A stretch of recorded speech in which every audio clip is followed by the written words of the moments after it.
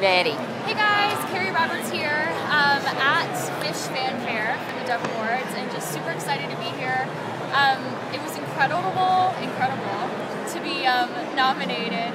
Um, I felt even more honored today here in rehearsal hearing um, all of the female vocalist nominees sing. Everybody was so incredible. Some of them I hadn't met before and it was just so great to feel that of everybody coming together and